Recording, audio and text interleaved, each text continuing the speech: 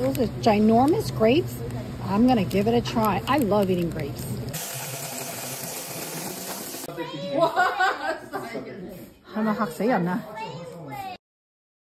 Okay, seriously, look at how big these grapes are, like ginormous.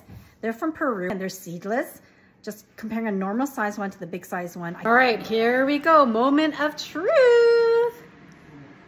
Mmm, seedless, juicy, and sweet. These are really good and the skin actually is not very thick. It's very thin. Oh, it's so big. I can't even bite it. It's like a little egg. Good? Mm-hmm. Juicy? Very sweet.